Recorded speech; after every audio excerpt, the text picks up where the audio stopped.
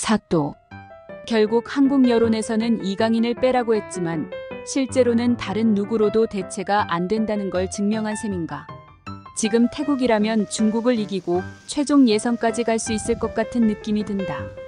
이강인, 손흥민은 좀 차원이 달라.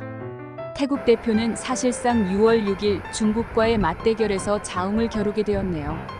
무승부라면 6월 11일 싱가포르 마이너스 중국 마이너스 한국의 결과에 따른 골득 실차 승부가 될 거고요. 한국이 지면 태국, 중국과의 3파전이 될 것으로 기대했는데 태국은 남은 이 경기를 꼭 이겨야겠네. 한국이 더 잘한 건가? 태국이 다음 경기에서는 더 열심히 했으면 좋겠어. 태국 감독이 아시안컵 8강을 이끈 명장 모리아스라면 3-0으로 승리했을 거야. 그 명장, 제발 태국에 양보하자.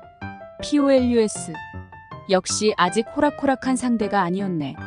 이로써 태국은 남은 2차전에서 연승을 거두지 못하면 2위 통과할 수 없게 되었네. 다른 조에서는 지난 대회 예선 진출했던 베트남이 인도네시아의 연패당해 예선 탈락할 가능성이 높다지. 비겼을 때는 기사 제목에 이시이 감독 이야기를 올리지도 않았으면서 이번에 완승하자. 일본인 감독을 격파한 것처럼 말하네. 진짜 병이다 병. 친일국인 태국과 반일국인 한국이라면 태국을 응원하고 싶어지는 것이 일본인으로서 당연한 감정이겠지요. 태국이 져서 유감입니다. M. 태국을 이겨서 이제 안심이 돼요? 역시 아직은 강인합니다 마이너스라는 느낌인가요? 차.